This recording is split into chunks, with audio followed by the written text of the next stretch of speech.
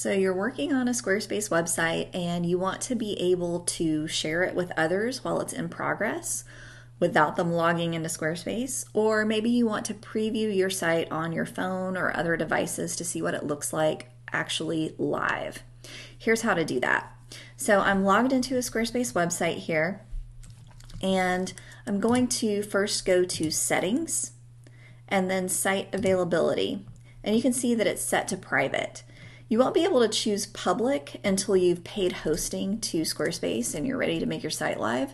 So in the meantime, what we're going to do is select password protected, which means that anybody that has the password to this site can see the site. And you could set this up to be something pretty simple. I'm just going to say test here and save it. So here's where things get a little tricky. If you're logged into Squarespace, you have to open a private or incognito browser window to preview the site. Or you can just log out of Squarespace and do these steps without opening a private window.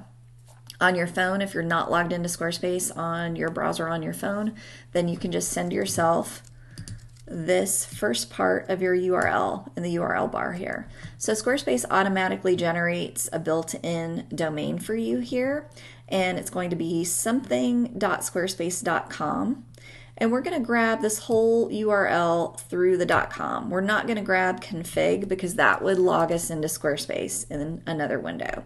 So just copy that and that's what you can share with people who aren't logged into Squarespace for them to preview the site. That's what you can use to preview it on your phone. And then it will bring up a lock screen for you and you can type in your password. So for us, we actually need to open an incognito window because I'm logged into Squarespace here. For the incognito windows on other browsers, sometimes that's called a private window. So I'll just open that up here. And then if I paste in this URL, so we start with HTTPS and we end with .squarespace.com and click return, then we have our password box and we can just type in our password and now we can preview our site. So we can preview this on other browsers, on other devices, and it just makes life so much easier. Now, if you've already set up your own domain, so if you go to settings and domains here, let me close this window.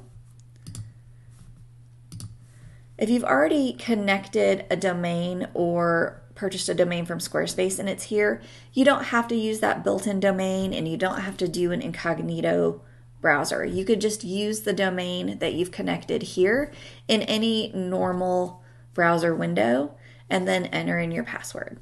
So that is the best way to share and preview your Squarespace website with others.